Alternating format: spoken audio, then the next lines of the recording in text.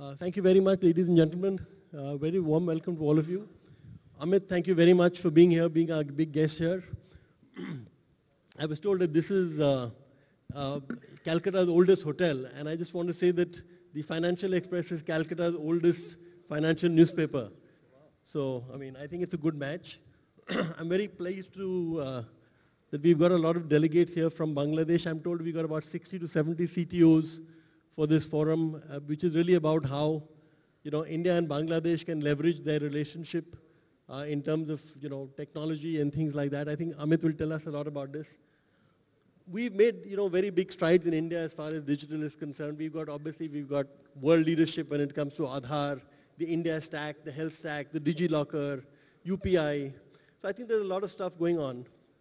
You know, I've known Amit, uh, I think since 1991, you used to be an independent economist. You just come back from Duke, and we used to talk about the economy these days, those days. Uh, and now we're here to talk about IT. But just before that, you know, Amit, I just want to get your, if you don't mind, your initial reaction on, you know, on the economic situation.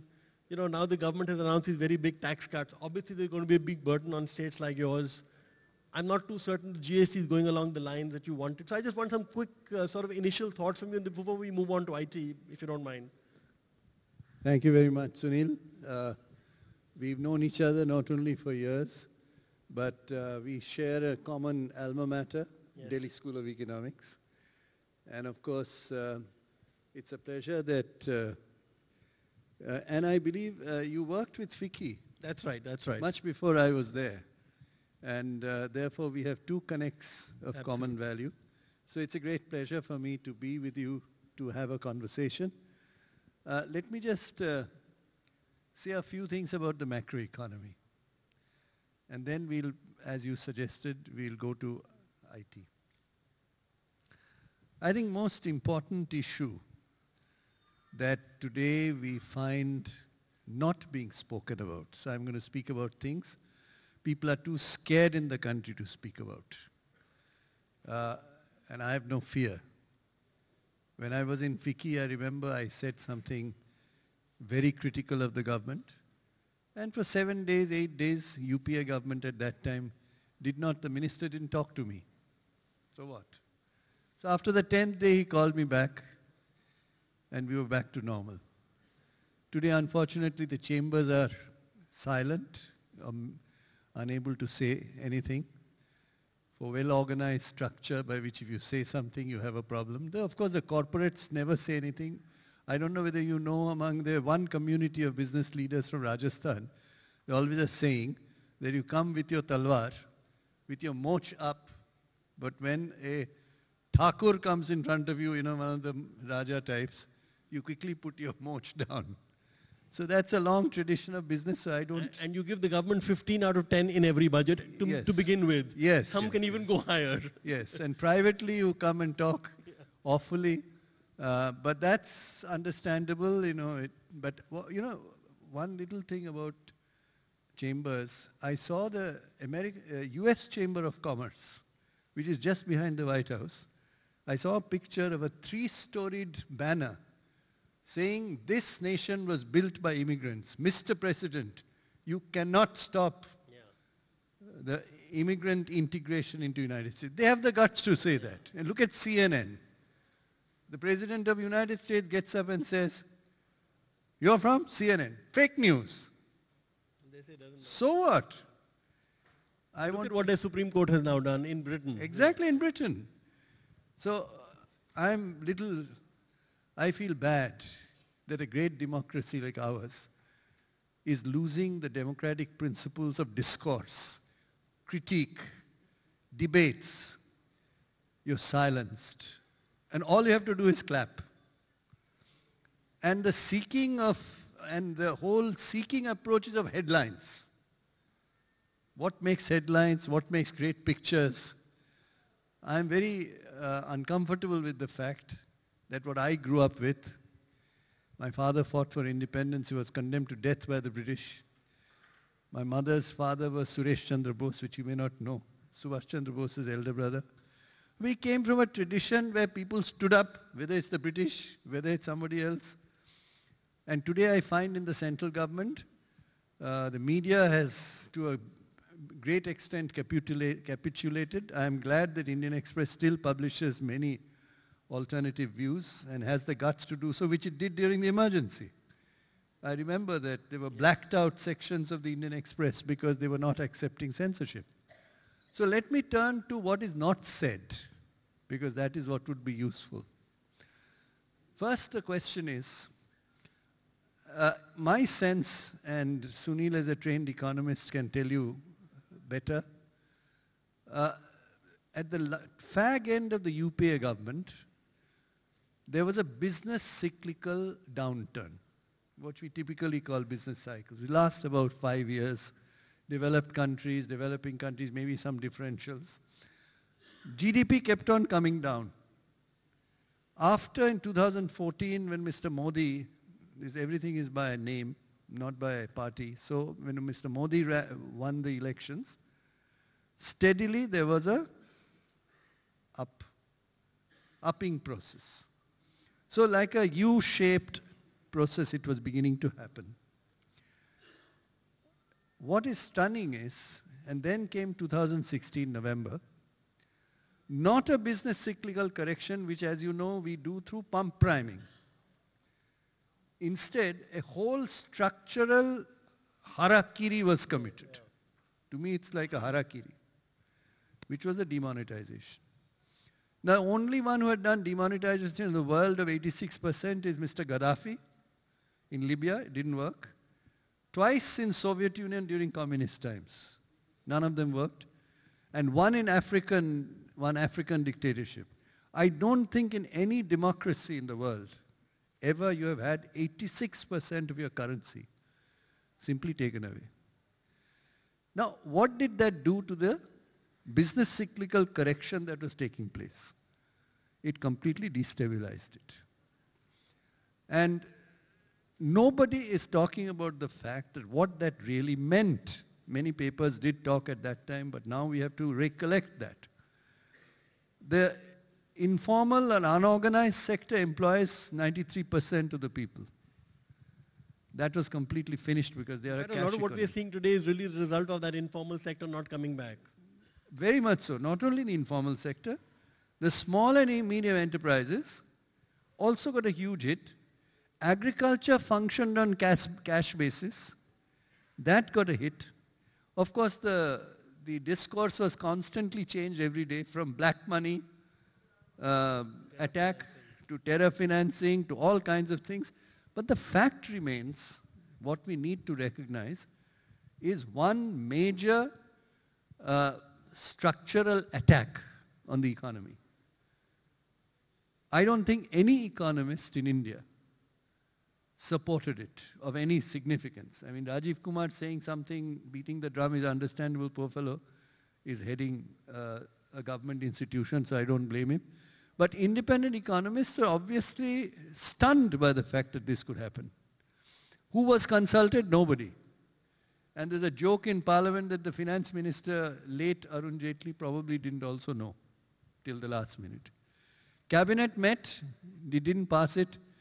They were all in a room, I'm told. I was told this by two different cabinet ministers of the government, of the central government.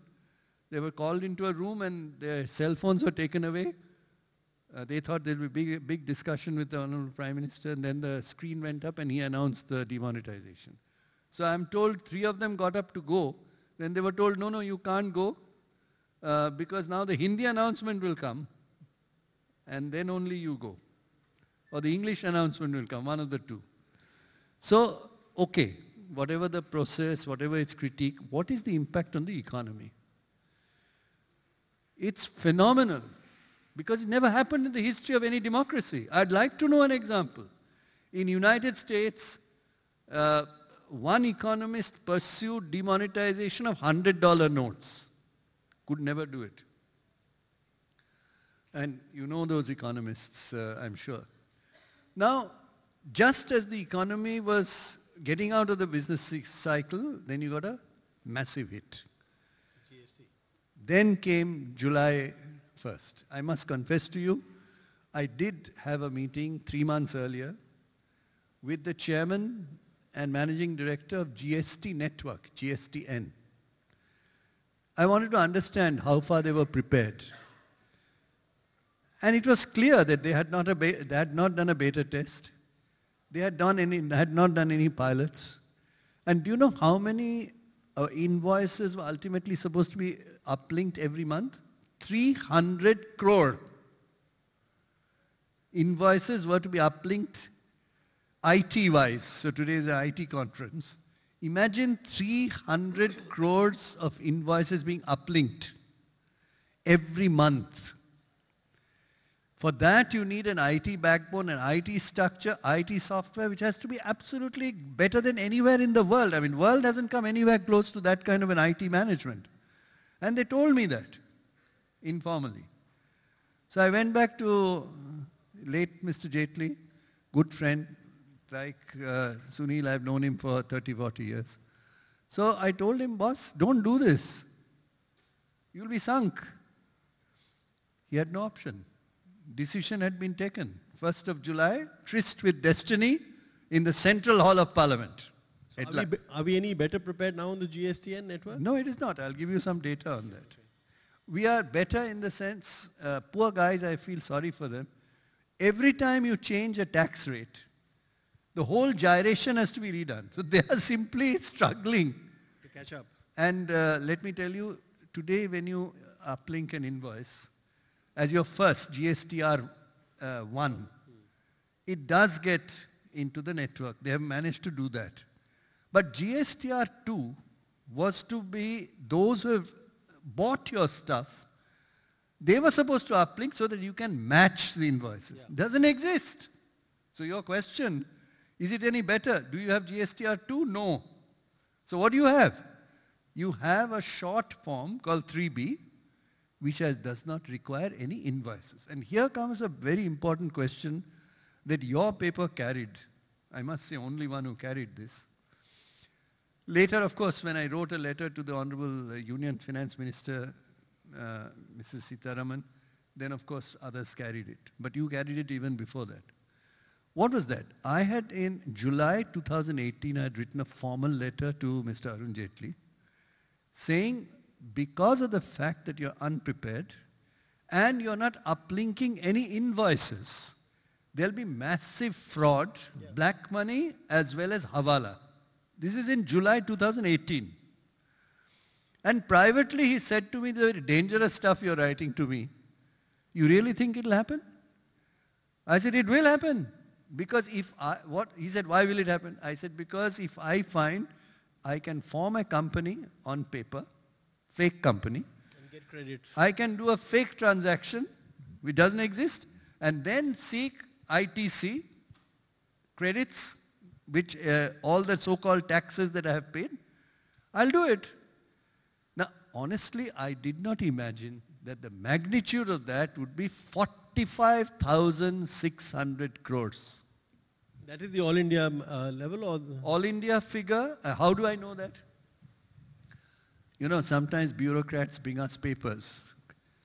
Uh, I have somebody who was member of the railway board, commissioner, they will know. Somebody must have brought a piece of paper in reply to a question set in parliament by some clever guy. What is the total amount of fraud?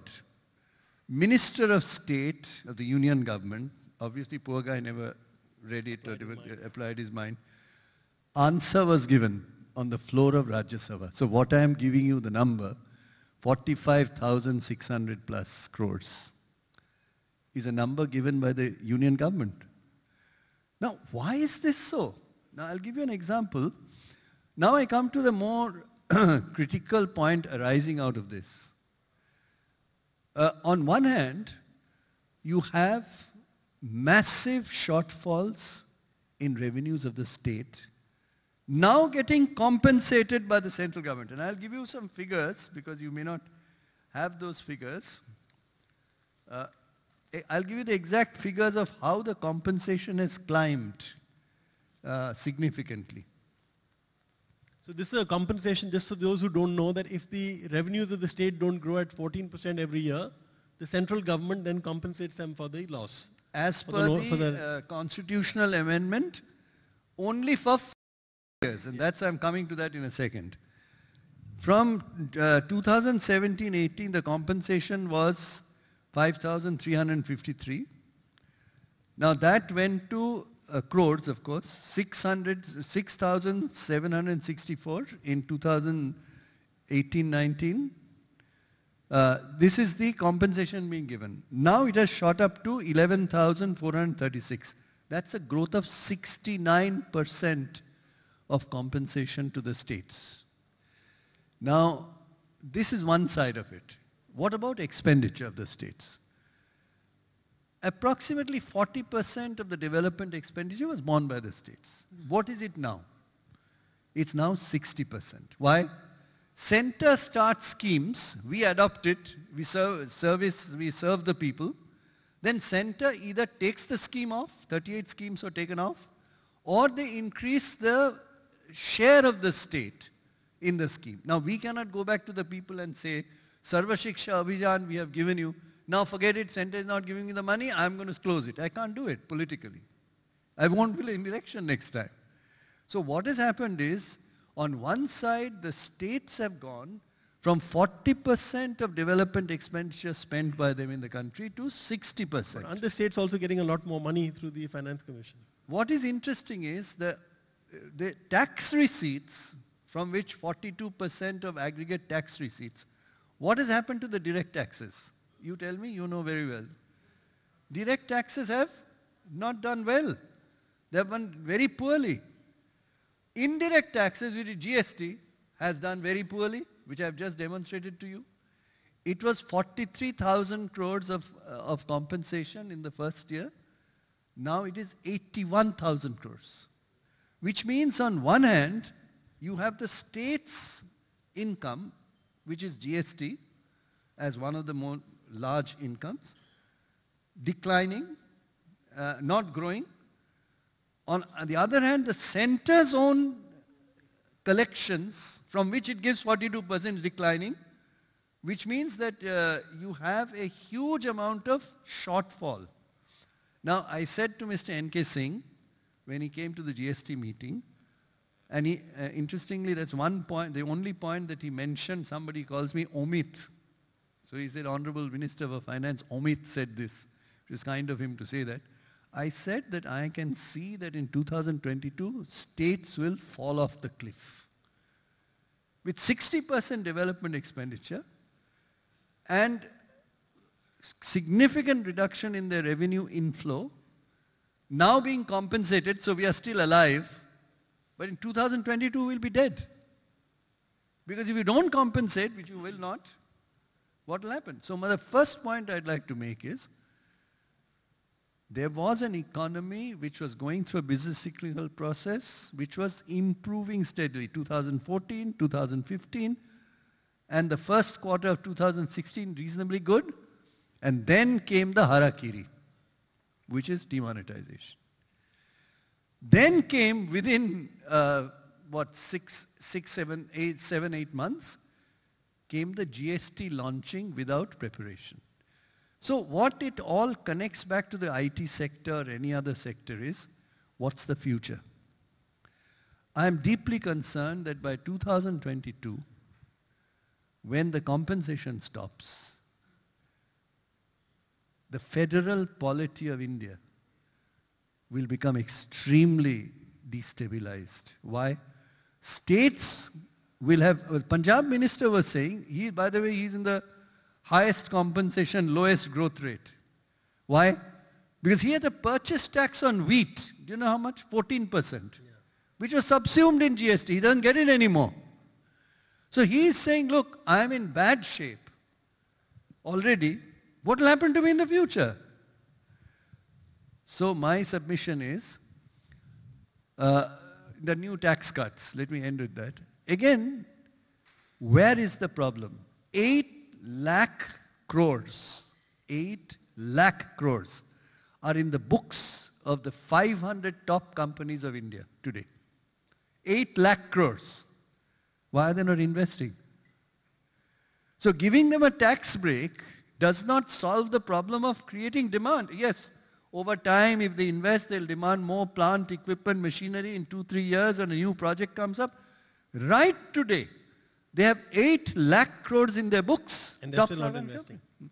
Not investing. Why? Because there isn't enough aggregate demand for them or their particular products demand. Okay, Amit, I, I'm just going to stop you here and Sure. get to IT, and I want to just take, take off from what you said about GST. Yeah. Now, you know, obviously, as you said, there is a great problem in terms of the, you know, the balance of power and how center-state relations work out if things work, if things go the way they are. Do we have, you know, one of the things that I was going to boast about was that we've got this GST network and it works very well and the Bangladeshis can learn from us. You seem to be saying it's not. So what have we got right there and what haven't we got what is required? Well, I think first, uh, one point I'd like to make on the previous discussion. What happened to the state of West Bengal in this atmosphere? I am very delighted that the central government published a data two months ago on rate of growth of GDP of states. Who was number one? Anybody know here? Try West Bengal, you can't go wrong. West Bengal. I didn't say that. Central government said 12.58% growth to the state of West Bengal. How? When the country's last quarter growth rate was 5%, probably it will be 7%, and now everybody is downgrading every two months, even the 7%. How did West Bengal go by 12.58%, which is a neighbor of Bangladesh? I here I would like to submit to you we did strategically four, five things, two, three things. I'll just point to specific ones, which you will understand. Capital expenditure in West Bengal, the government grew by 11 times. It's a record in history. The minute you have capital expenditure, Sunil, you and I know, it's the largest kick in the Keynesian multiplier because the asset creating investment. Plan expenditure grew by six times between 2010 when we, 11 when we came to office and today.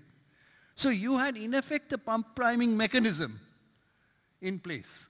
Social sector expenditure grew by 4.5 times. You know what is my budget for Kanyashri? One- 1,500 crores. And that program has been uh, uh, adjudged as the best program in the world by United Nations. That's the social sector. Agricultural sector and allied states budget against pump priming the economy in a way grew by nine times and physical infrastructure grew by five times which means the government's role of releasing the Keynesian multiplier so that with it comes the private investment into flow. Today Flipkart has taken 100 acres of land in West Bengal will employ 10,000 people. Now, you go to the leather hub, and Bangladesh is important for that. We have a leather hub where 2 lakh 20,000 people are working today in Kolkata. Do you know that? It's very close to, I mean, it's about 20, half an hour's drive from here. 2 lakh 20,000 people are working in the leather hub today, leather hub today. We've just got commitments which Honorable Chief Minister inaugurated, 80,000 crores of investment from Kanpur. You know, as you know, there's a problem in UP. Minority community is the one that works on leather. They are coming to us. 140 of them have applied. So 80,000 crores of investment, and you know how many jobs it will create? 5 lakh. So in that is not only becoming Asia's largest leather hub, we hope to compete as the world's largest leather hub because it already has 2 lakh 20,000. It'll have another 5 lakh, 7 lakh 20,000 people will be working in Kolkata in one single, world's largest producer of industrial gloves is in that. What does Calcutta have, uh, you know, for Bangladesh?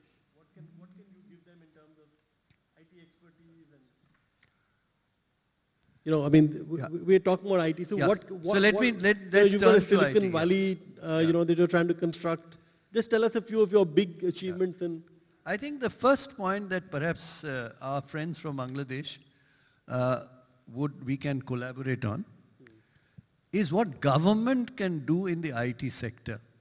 Give me one example. You, you did a lot of uh, e-filing. You know, one of the reasons why your taxes went up is because of IT, right? Absolutely. Uh, taxes went from uh, about four, uh, uh, 21,000 crores to 65,000 crores. 65,000 annually. In a period of This year, we are 65,000 crores in a period of seven years. seven years, okay. So 21,000 steady growth. This year, uh, last year, that's 18-19, we have 65,000 crores collection. More interestingly, in West Bengal, not a single rupee is spent in cash or in check by the government. Oh, Did you know that? no. Completely digitized. Now, we were the first state in the country to use a software sitting in Reserve Bank, nobody was touching it, called eKuber. Hmm. To be honest with you, we could not have achieved this without connecting with eKuber. First state to connect with eKuber. So today, I, can, I don't want to go into details because that's too much of details. I'm sure my additional chief secretary is speaking tomorrow and he will give a lot of details. So I'll give you a simple example how we can arm twist business to benefit the people. Fuji Soft, the Japanese company, they did a joint venture, my IT department. I said, no, I'm not going to pay this money. 34 crores in the first year for equipment, machinery. Why?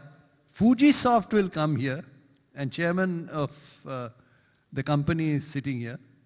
I said to, I said to them, uh, I'm talking about Webel and Mr. Jha, I said to them, look, 34 crores I will not sanction.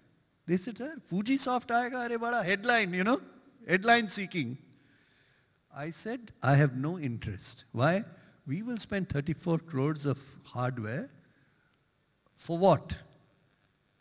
They train people here with us and they'll take them to Japan. 210 because the immigration is, they have eased it. So essentially, I said, you are going to do a specific activity in which my small and medium enterprises have to be involved. So what, were the, what was Fujisoft uh, basically going to do? They were going to do uh, 3D printing.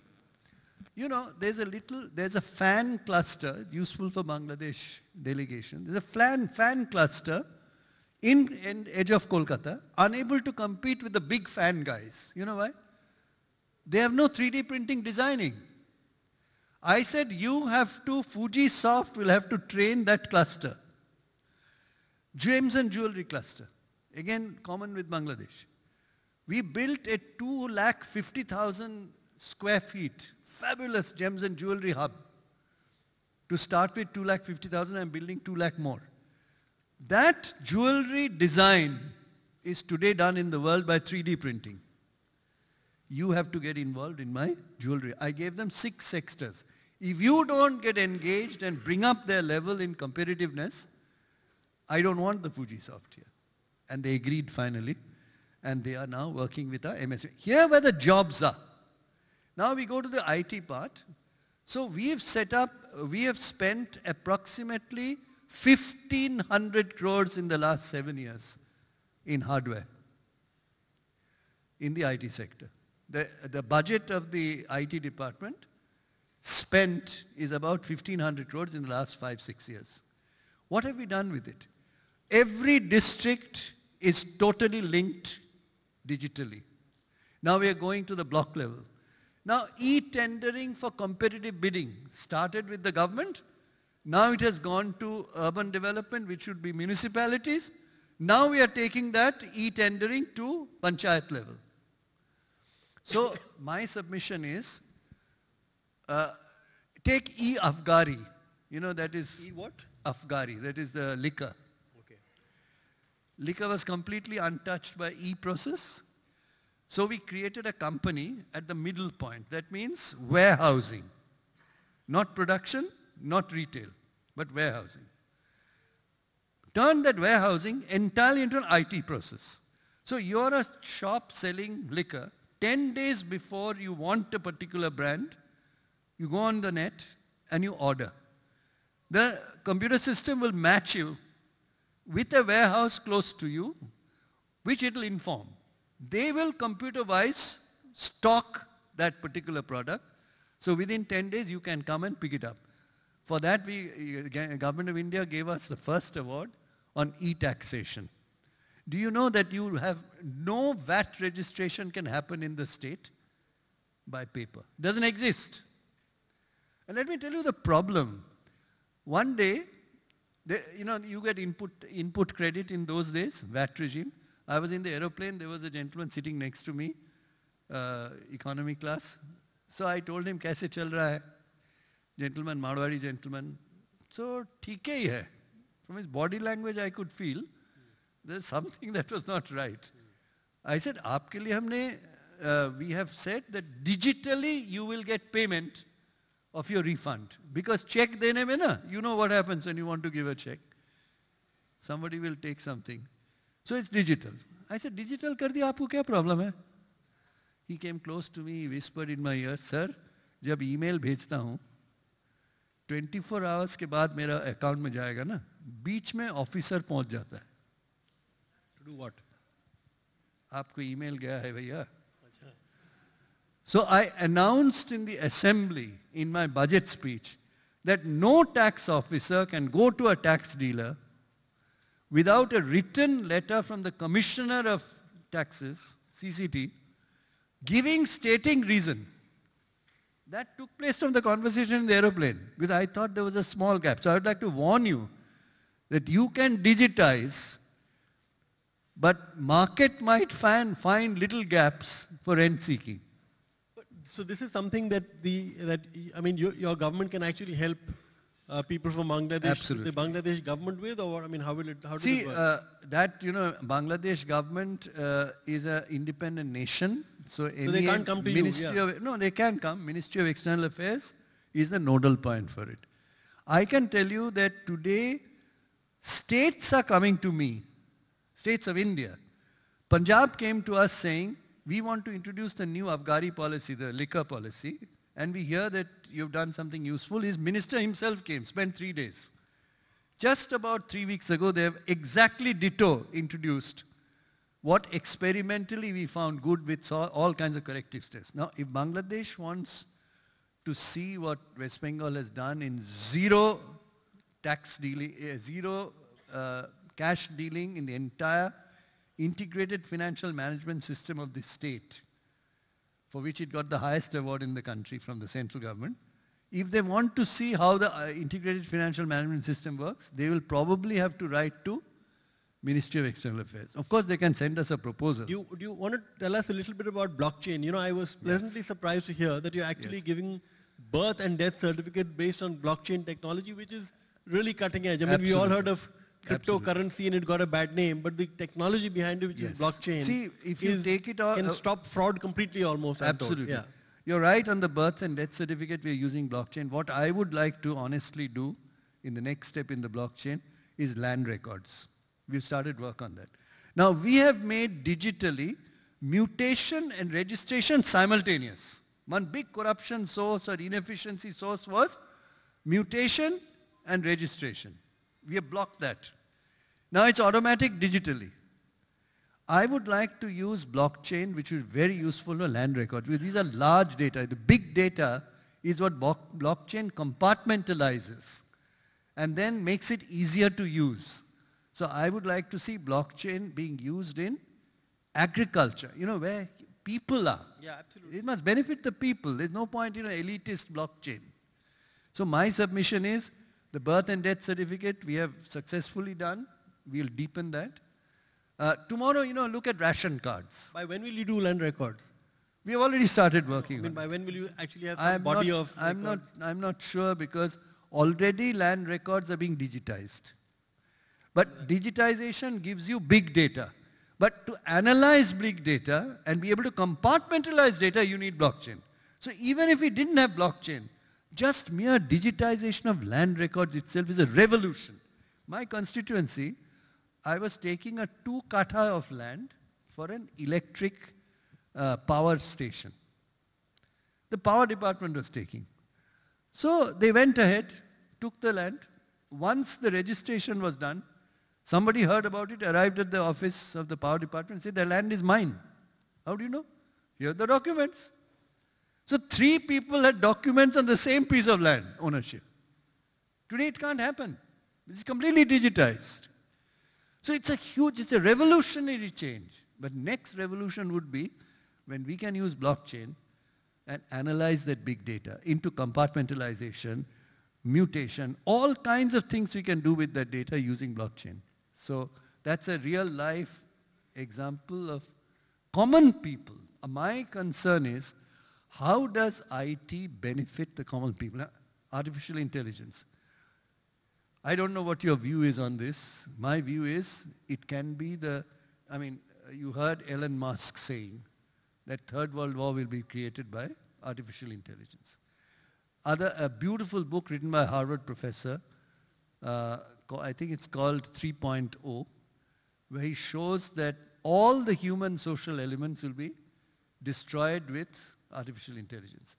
What attracts me to a part of artificial intelligence as a part of the IT revolution, next revolution is, how can artificial intelligence help the common person in a developing economy? So what is West Bengal doing on that? We have uh, created a center for artificial intelligence. We have done six major seminars and we are trying to look at that space of artificial intelligence which will really help the common people.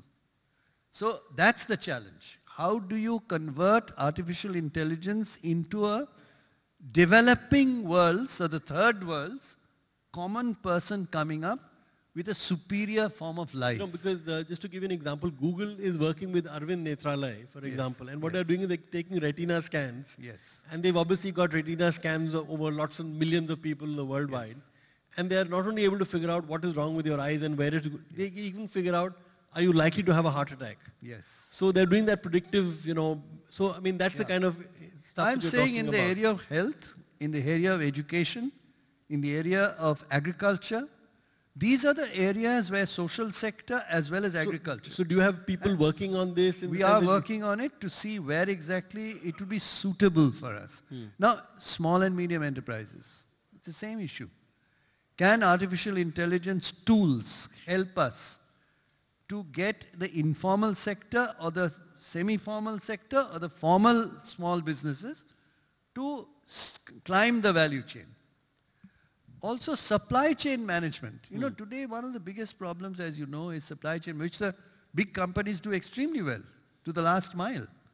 But the medium guy can't do the supply chain management. The smaller guys are most inefficient on supply chain management. They just fall apart. So can we use these advanced IT tools for this purpose? I'm sure my additional chief secretary, when he speaks, will give you lots of, he's a physicist by training, so he'll give you lots of interesting stuff. But he probably I'm, won't tell it as well as you do, though. Sorry? He probably won't tell us the story as well as you do. No, he, no, he can't. I mean, he, he's, he's a physicist all, at the end of the day. He'll be constrained to say these stories, even if he has them. And uh, I mean, are there any other sort of? I mean, let's when you talk about artificial intelligence, or you know, you talk about, yeah. for example, using you know e-filing and things like. Can you give us one or two examples of where you've used sophisticated IT in the state and it's done well, where you know people can learn from? Some examples. I think on artificial intelligence, uh, we are in the process of using in various areas. Blockchain we have used. The conventional IT we have completely done fully. So you can put it into three tiers. One is conventional IT. That we have done successfully and we've got the highest awards from the government of India. I've given you some examples of that, of whether it's in taxation, whether it is in payments, whether it's in government process. Uh, second is to climb one more value chain towards blockchain or 3D printing for that matter in a parallel process in an applied area. So we go to blockchain or to 3D printing or to artificial intelligence tools that Fujisoft knows that we don't know because Japanese are very advanced in this. That's a second tier. The third tier is where the artificial intelligence per se comes in. Now, let me also come down to the ground. We wanted to create, and maybe Bangladesh can think about this, we wanted to create two-tier and three-tier IT centers. So when I took over the IT ministry, first thing I did was to sit together and with my colleagues and see, let's pick 25 two-tier, three-tier cities. 50,000 square foot, beautiful building, plug and play. And you'll be happy to know that 16 of them are full today, functioning. Okay. okay. Small places. Now, I'll give you just an example which is exciting. In uh, Shiliguri, I went there after becoming minister. I said, I want to see that uh, our 50,000 square foot. You know, I went, walked into a floor. There were 750 boys and girls. all speaking in Bengali, but 80% speaking in different elements of Bengali in Bangladesh. So one fellow was speaking in Sylheti, uh, Bangladesh, in Bangla. I am from Jessore, which is in Bangladesh, my, not my, my, my father, grandfather. I heard somebody, Jessore, Faridpur type of Dhaka, somebody. I said, excuse me, what are these boys and girls doing? All common we are boys and girls. They are Airtel's front office. Operating out of Siliguri, 715 one room. Now then, I went to the next floor, very quiet floor, and a guard came up and a manager came up, said, sorry sir, you can't enter. I'm supposed to be finance minister, yeah. industry minister, IT minister.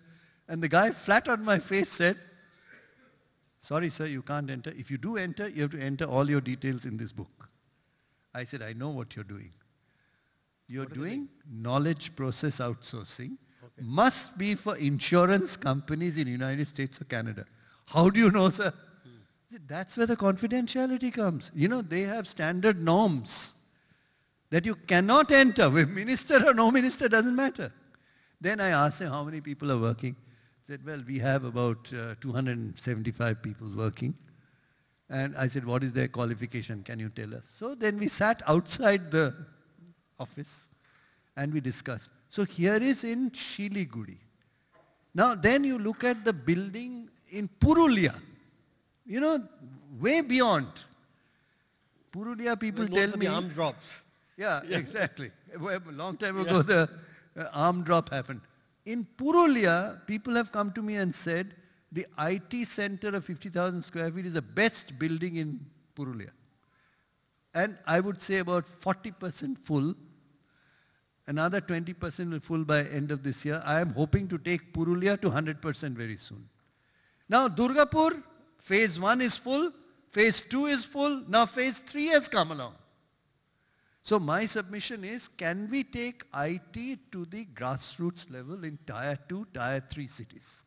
I don't know in Bangladesh where that's the case. If it is, wonderful. If there's anything we can learn from you, or there's something you can learn from us, our constraints, our problems, happy to do. I mean, just one last, uh, you know, question on artificial intelligence and, you know, the poor or agriculture.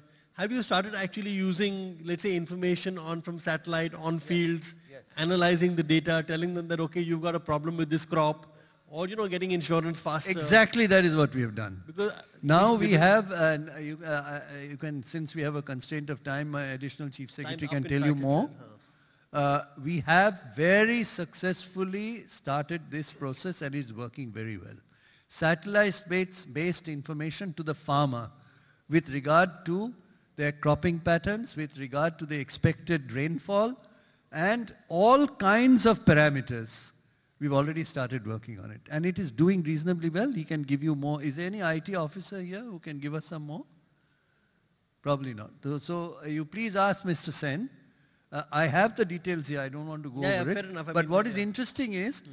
That we've already not only initiated but have moved forward on the question of agricultural predictability. Yeah, absolutely. And soil quality and how much of fertilizer to use, how much, what will happen to your water through satellite-linked IT process. I mean, I know in some places you tell the fishermen that if you want to get prawn, go there. Yes. You want to get yes. surmai, go there. Exactly. You know, and things exactly. like that. Amit, uh, always a pleasure talking to you. Thank Great. you so uh, much. One, one little more thing, yeah. uh, Sunil. Uh, our uh, our exports of IT from West Bengal in 2017-18, this has grown a lot now. 180,000 No, it's 21,000 crores, which should be now in the range of 25,000 crores and the number of, uh, uh, uh, compared by the way to 8.5 thousand crores.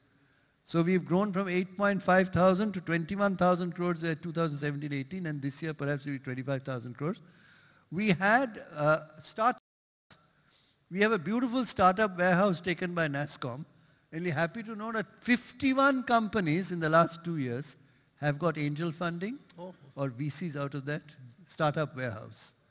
So interestingly, we have now 150 major IT companies uh, working. This is mainly Newtown and then around? Uh, all over. Okay. Not only in uh, this thing. And I think what is interesting to me is that uh, the total number of people working in IT today is about uh, probably close to 2 lakh IT professional.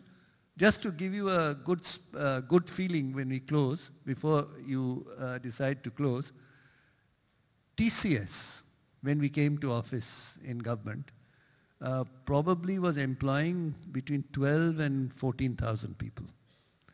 Today, TCS employs 41,000 people in Kolkata.